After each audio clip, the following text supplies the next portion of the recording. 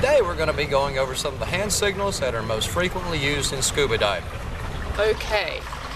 Or there's something wrong. There's something wrong with my ears. There's something wrong with my mask. Or there's something wrong.